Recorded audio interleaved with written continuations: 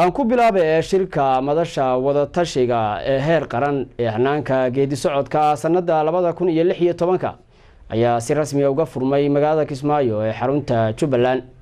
Waxaana warbixintani noo soo diray wariyahayaga axmed caydi diiriye shirka madasha wadatashiga qaran ee geedi socodka hanaanka doorashooyinka sanadka labada kun iyo lix iyo tobanka ayaa maanta waxa uu si rasmi ah uga furmay magaalada kismaayo ee xarunta gobolka jubbada hoose. Shirkan oo la doonayey inuu magaalada kismaayo ka furmo tobanka bishan aan ku guda jirno ayaa afartii maalmood ee la soo dhaafay uu dibidhac ku imaanayey balse maanta oo taariikhdu ku beegan tahay afar iyo tobanka bisha koowaad labada kun iyo lix iyo tobanka ayuu si rasmi ah uga furmay magaalada kismaayo ee xarunta gobolka jubbada hoose. Shirkan ayaa waxaa goobjoog ka ahaa madaxda ugu sarraysa dowladda federaalka soomaaliya iyo weliba madaxda maamul goboleedyada wasiiro ka tirsan dowladda federaalka soomaaliya iyo weliba xildhibaano.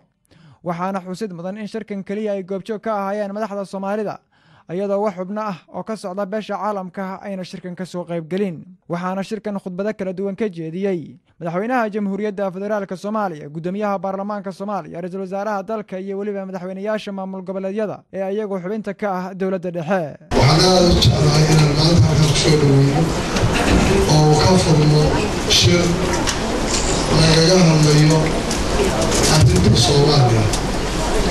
laba kun iyo lixyo toban markii hore badan tahay taariikh soo socota leedahay laakiin sanadkan aan ku jiro waxaa laga tashanayaa ay tahay mustaqbalka soomaaliya waxaa sharaf weyn noogu reer jubbaland inaan maanta martigelino walaalaha iyaga soomaaliyeed xukuumaddoodii xukuumadahoodii iyo shacabkoodii inay maanta ka tashadaan aayahooda iyo mustaqbalkooda iyo geediga meesha guuraya aad bay sharaf weyn noogu tahay. Haddii ay jiraan dad soomaaliyeed oo daraysan inaan madashan aysan ka dhex muuqan ama aan loo matelayn anigu waxaan qabaa intanada fadhida ayaa matalaysa intanada fadhida ayaa waajib ugu ah inaan xaqooda iyo xuquuqdooda ilaalino mudanayaaliba weyne puntland waxay door muhiima ka qaadatay dib celintii dowlad soomaaliyeed waxayna u taagan tahay mar walba midnimada shacabka soomaaliyeed iyo in la helo dowlad dhab ah oo ku dhisan cadaalad isla mar ahaantaasna ka dhabaysa himilada ummadda soomaaliyeed ay u qabto dowladnimo rasmi ah reer koonfur galbeed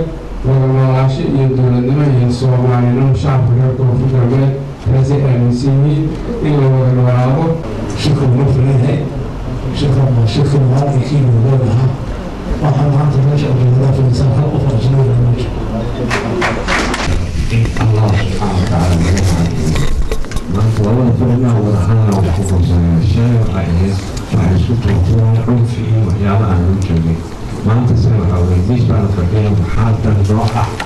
waxaa dan iyo ah baan ka guuraynaa dowladda dhisideeda meelaan ka soo bilownay cidla ah oo waxba aani jirin maantana meel baan marsiinaynaa intii dowladnimadaasi xilligii burbur kadib ka soo shaqayso dhanna waxay ku lahaayeen dowray ku lahaayeen maanta meesha aynu soo gaarno inta maanta joogta ayaan mas'uuliyadda maanta ay saaran tahay birina kuwa imaan doona ee jooga ayay saaran tahay. Annagu marka intaynu maanta joogtay mas'uuliyadda hayna waxaana laga raba waxay tahay wixii suurtagal ah maanta suurtagal ah oo soomaaliya u wanaagsan inaan samayn si kastaba ha ahaatee shirkan maanta ka furmay magaalada kismaayo ayaa waxa uu noqonayaa shirkii u dambeeyey ee looga arrinsanayo ayaha waddanka soomaaliya iyadoo ay ka muuqanaysay khudbadaha ay shirka ka jeedinayeen madaxweynayaasha maamul goboleedyada. Kala aragti duwanaanshaha ay ka qabaan nooca doorasho ee laba kun iyo lix iyo tobanka sanadkan aan ku guda jirno ka dhici karta gudaha waddanka soomaaliya. Shirkan ayaana labada maalmood ee soo socota ka sii socon doona magaalada kismaayo. Axmed caydi diiriye somaali channel magaalada kismaayo